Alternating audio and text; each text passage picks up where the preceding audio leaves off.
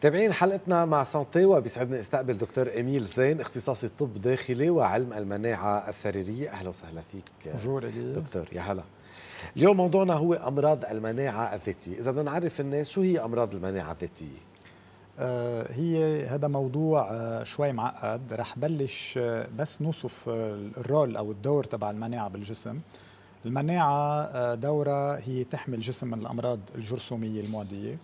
وكمان تعمل كنترول وتحمي الجسم من الخلايا السرطانيه هلأ بالمناعة الذاتية هالمناعة اللي هي المفروض تحمينا آه، بتبلش ترتد على الخلايا السليمة وبتستهدفهم.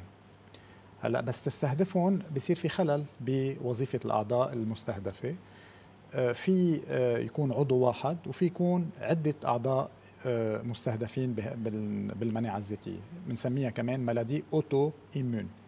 بدنا نميز آه، شوي هالمشكلة من دكتور بدي اقاطعك بعتذر كثير رح نطلع المباشر ونرجع نتابع okay.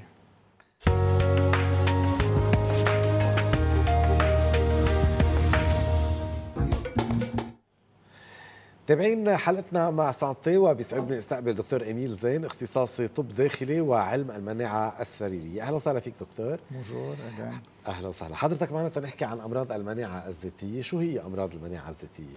دونك مثل ما كنا عم نقول الأمراض المناعة الذاتية هي آه، أمراض آه، بتصيب الجسم آه، وبعض أعضاء بالجسم بس المناعة تبلش تستهدف وتتعدى على الخلايا السليمة. لازم نميز هالامراض هيدي عن أمراض تانية بالحساسيه بالحساسية اللي هي لها علاقة بالمناعة. وكمان بدنا نميزها من ال déficit immunitaire اللي هو الضعف المناعي. هول أمراض مناعية بس ما لهم علاقة بالامراض المناعة الذاتية. آه، بالنسبة للأعضاء المستهدفة فينا آه، نعرف أنه آه، في أعضاء كثيرة فيها تكون مستهدفة. وفي مرات عضو واحد.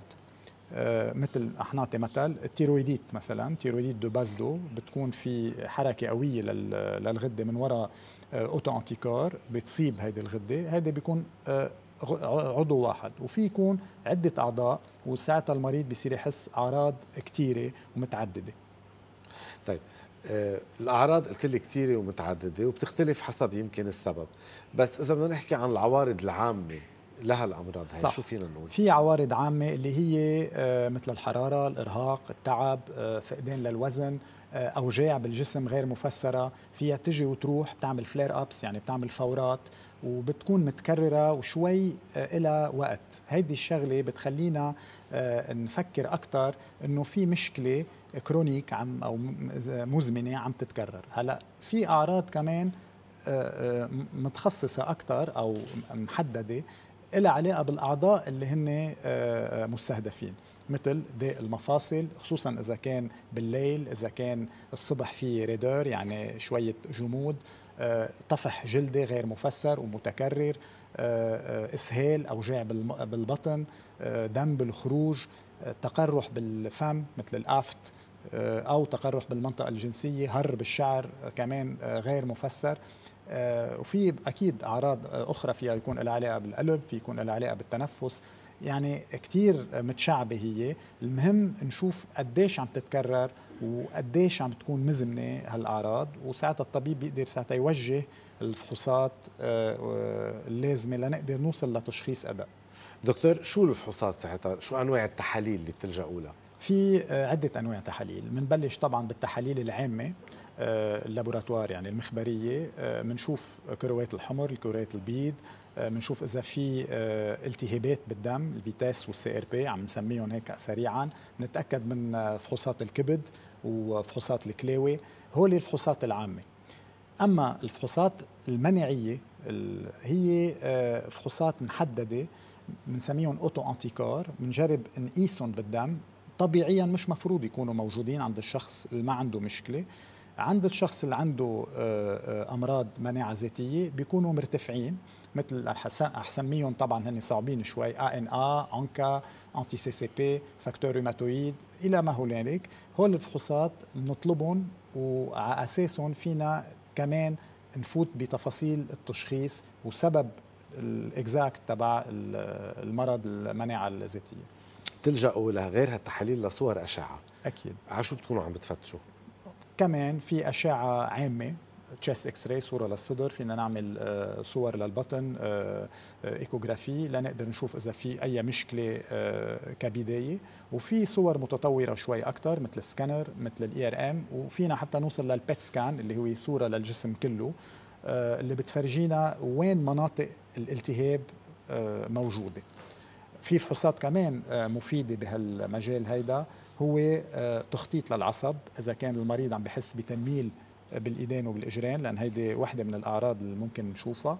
في نعمل capillaroscopie يعني صورة أو بنشوف آه، الشرايين أو الأوعية الدموية صغيره من خلال آه، ميكروسكوب بنحطه على الضفر أو بواسطة fond d'œil بيشوفه الحكيم العيون لأنه كمان الالتهاب بالشرايين الصغيرة ممكن يكون مربوط بمناعة ذاتية. آه، فينا كمان نلجأ لفحوصات أخرى. مثل الناضور ال endoscopie colonoscopie و gastroscopie لأنه في أمراض مناعية بتصيب هالمنطقة هيدي وساعتها فينا ناخذ خزعة ناخذ عينات. تعملوا زرع. exactement بنعمل زرع بنبعثها على ال laboratoire وساعتها كمان ناخذ اضافيا معلومات للتشخيص. ممتاز. دكتور شو الأمراض يلي مرتبطة بالمناعة الذاتية؟ مثل ما قلنا ببداية الحلقة عم في أعضاء بتكون un seul organe عضو واحد مثلا الغدة الدرقية thyroïdite de Basedow اللي هي بتعطي إفراط بشغل الغدة الدرقية. بتكون مربوطة ب anticorps يعني مضاد حيوي بتفرزه المناعة وبتخلي إنه هالغدة تشتغل كثير وفي العكس مثلا thyroïdite de Hashimoto كمان هيدي بالعكس بتصير كسلانه الغدة.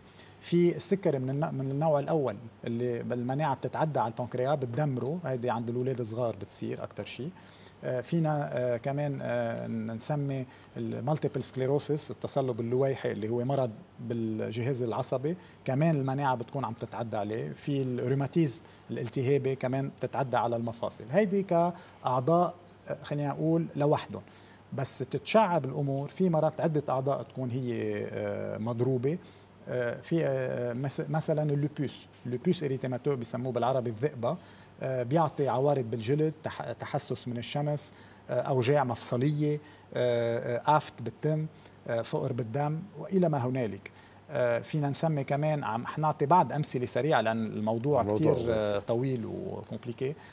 مرض Sjögren اللي هو rhumatisme التهابي مع نشاف بالتم وبالعين. هذا كمان لوحده من صنفه. في مرض موجود كثير بمناطقنا مثل مرض بهست. مرض بهست هو بيعطي تأرحات بالتم وبالمنطقة الجنسية وبيعطي التهابات بالمفاصل وبالعين. آه، في كمان حمة البحر الأبيض المتوسط اف كمان متواجدة بلبنان بشكل أكثر آه، شائعة.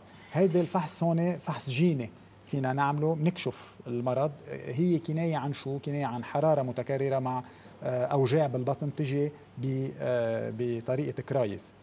هول بعد أمثلة طبعا فينا بعد نسمي أكثر بس آه، الموضوع واسع بس إذا كخط عام الأدوية والعلاج كيف كيف بيكون؟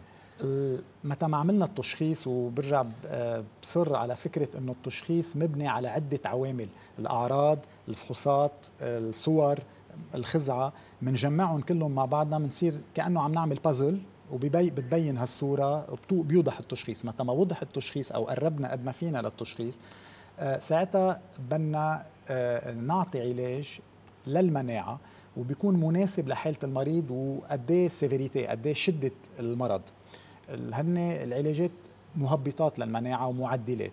أول دواء بنعرفه هو الكورتيزون. آه الناس يمكن ما كثير آه بتحبه ولكن مرات مضطر نستعمله طبعا بعيارات آه مدروسة وتدريجيا منخفضة. بنساعد الكورتيزون بمعدلات للمناعه بنسميهم immunosuppresseurs واليوم الطب آه، كثير تطور بهذا المجال بالمجال ال biothérapie ال biothérapie ان هن العلاجات البيولوجية اللي بتصيب ناحية محددة بالمناعة بتكون آه، فعاليتها عالية وكمان المضاعفات أقل. آه، كل يوم في قصص جديدة بهذا الموضوع. نعم.